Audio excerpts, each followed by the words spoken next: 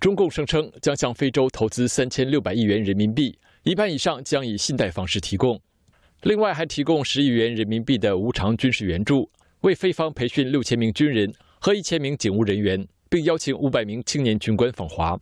外界担忧，这将是中共“一带一路”债务陷阱外交策略的重演。中共去年向非洲国家提供了价值四十六点一亿美元的贷款，其中安哥拉最多。截止去年。安哥拉总共获得中共四百六十亿美元贷款占其外债的百分之四十左右。现在安哥拉每月要拿出一点五亿到两亿美元还债。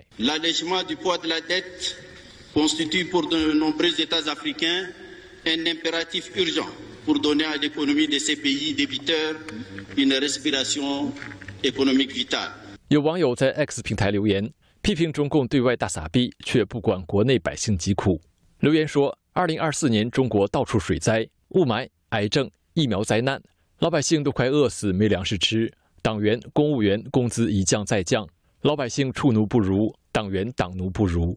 据统计，到二零二二年，中共中央和地方政府、国有企业和金融系统的债务至少约三百九十万亿元人民币。新唐人电视台记者于良、池晓综合报道。